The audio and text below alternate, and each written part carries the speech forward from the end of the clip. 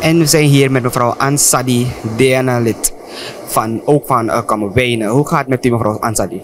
Uh, met mij gaat het goed. Gezondheid goed. Je hebt nog volop energie.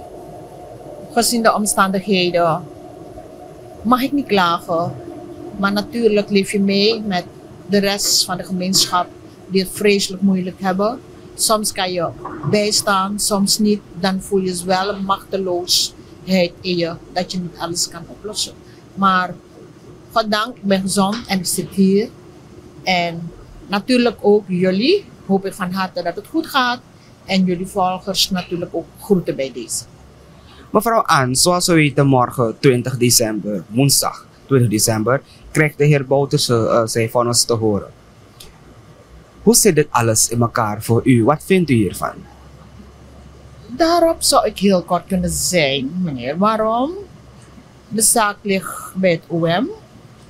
Morgen gaat het voor.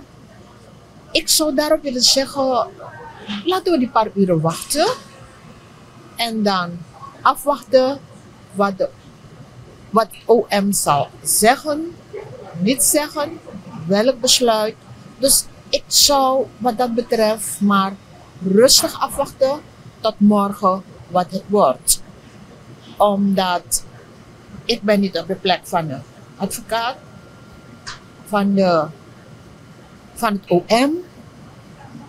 Ik zou daarin gewoon kort kunnen zeggen, ik wacht ook rustig af tot morgen. Maar wat is uw mening? Wat denkt u er zal gebeuren? Ja, ik begrijp dat u ervan uitgaat als stop NDP'er dat u van mij wilt horen. Ik kan daarop het volgende zeggen. U weet, ik volg heel wat rechtszaken. En bij deze specifieke case heb ik ook mijn tijd genomen om heel wat stukken door te nemen. En daarin kan ik wel zeggen, concluderen, aan de hand wat ik heb gelezen, dat ik nergens een bewijslast heb kunnen vinden ten aanzien van waarom het vonnis morgen plaatsvindt. Na de voorzitter van de NDP, de heer Daisy Delano Bouterse.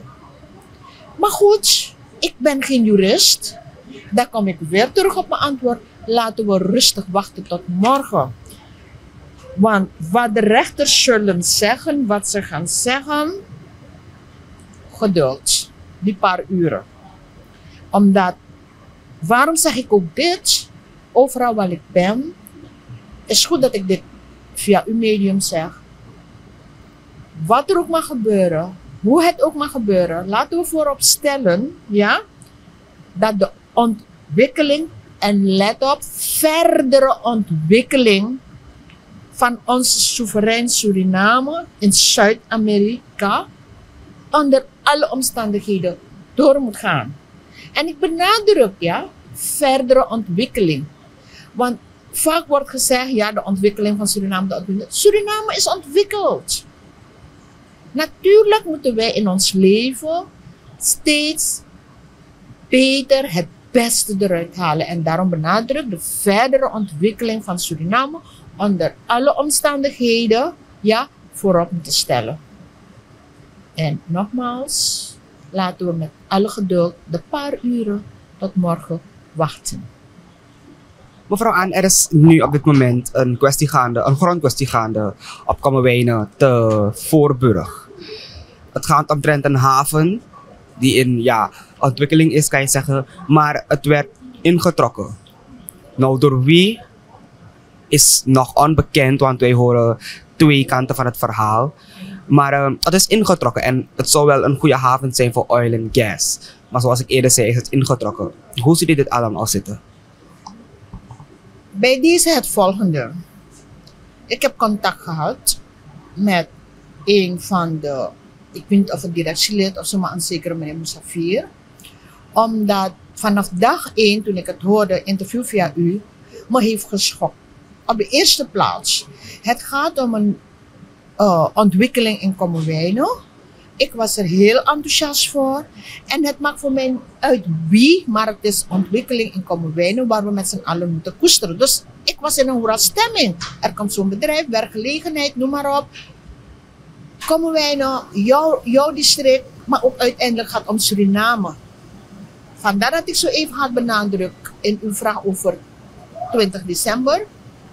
Onder welke omstandigheden de ontwikkeling van onze soeverein Suriname moet verder, verder benadrukt. Ik heb informatie van de meneer gehad. Ik heb ook beelden gehad. Ik heb ze allemaal ook uitgeprint. Kijkt u maar. Hele ontwikkeling, niet weinig geld. Maar ik lees vandaag ook dat er een rechtszaak gaande is. Los van dat ik zeg, laten we dan afwachten wat de rechtszaak zegt. Maar ik heb ook niet stilgestaan. Ik heb aan de hand van de stukken die ik heb ontvangen ook onderzocht. Ja, er is een beschikking. Er zijn toestemming van MAST ook hier. Ja, ook van OB. Dus die, die, die, die groep, even kijken hoor, hoe die uh, onderneming zit. Ja, uh, de naam is dus een uh, Port Facility NV. Is direct gaan investeren. En wanneer nu nog een jaar verder, want als ik kijk naar de beschikking, is het een jaar terug. En daarna hebben de mensen een schrijven gehad. Onderwerp is in gebruik dat wederopzeggens voor industriële doeleinden aan komen wij naar Port Facility NV. Dus nadat ik de stukken heb bestudeerd, ben ik tot de conclusie gekomen dat het om een situatie gaat waar er een dubbele uitgifte. Wauw, mijn haren staan wel overeind. Omdat wanneer de datum 28 april 2022 Port of Facility Kommerwijnen, heb ik het goed gezegd? Port Facility NV de beschikking heeft gehad en 23 maart 2021 een opzegging ja, vanwege een dubbele uitgifte is mijn vraag. Jammer dat de openbare vergadering voor doorgaat. Want ik zou wel de minister vragen, los van dat de zaak gaande is, het is mijn plicht als DNA-lid om dit ook aan te kaarten. Want wanneer nu een dubbele uitgifte is gedaan en de ondernemer heeft gigantische investeringen gedaan, ja, is de volgende vraag. Zoals aangegeven in de beschikking, de datum 15 mei 2023, is de intrekkings gebaseerd op een dubbele uitgifte. Het perceelland is reeds aan derde uitgegeven. Nu komt het interessant om te weten hoe de staat met reeds geïnvesteerd kapitaal om zal gaan. En u ziet, de mensen zijn naar de rechter gegaan. Kees wordt nu onderzocht door het OM. Ik kan me voorstellen, als je niet sterk mentaal mensen zulke gigantische investeringen en dit vandaag te horen krijgt, je moet wel sterk in je benen staan om niet omver te vallen. Dus omdat wanneer je een beschikking uitgeeft, je alles aan moet doen om te onderzoeken. En het ministerie heeft alle tools om dat te doen. Dat wanneer je een jaar verder geconfronteerd wordt met een case dat al is uitgegeven, de man moet stoppen. U begrijpt, wie gaat voor opdraaien? Dat is die interessante vraag. Goed, ik ben blij dat de persoon hun recht zoekt. Laat het OM uitzoeken, maar als werkelijk op basis van dubbele uitgifte de verantwoordelijkheid zal bij de staat liggen, dan zal dit voor de zoveelste zaken die nu op het bord liggen van de overheid, waar mensen hun recht zoeken. En in dit geval, ja, het stemt mij niet goed als Suriname, want er gaat om kapitalen hier. Goed, misschien dat er dan een schikking getroffen, I don't know. Maar het is een onsmakelijke situatie voor de ondernemer, maar voor Suriname ook. En voor mij als Surinaamse vrouw die in DNA zit en om Kommerwijnen gaat en uiteindelijk om Suriname.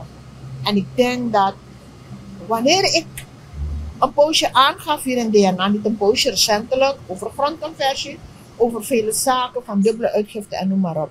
En wanneer ik ook aangaf GGB, chaotisch, laat men oververlopen stoppen met gronduitgifte, om alles op een rij te zetten, alles transparant te maken.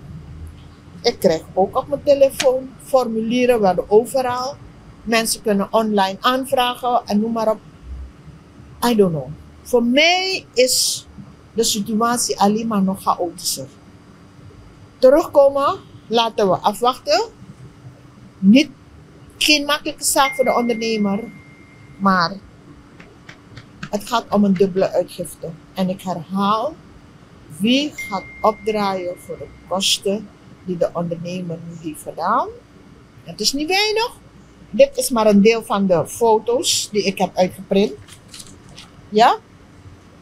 En laten we rustig afwachten wat het OM zegt. En ik hoop niet dat, net als heel veel zaken, waarbij Surinamers hun recht zoeken en steeds op een lange baan wordt verschoven.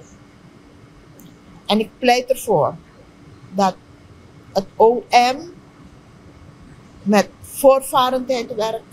Want ik heb een aantal cases hier in DNA, ook van een Surinaamse burger die vanaf 80 recht zoekt bij het OM en maar nog steeds geen uitspraak is. De ex-suralconiers, die steeds weer wordt uitgesteld. Sommigen zijn al onder de groene zoden. Daarmee bedoel ik al heen zijn gegaan. Anderen die nog wachten, maar steeds wordt het uitgesteld. Waarom? Gaat het omdat het om grote boys gaat?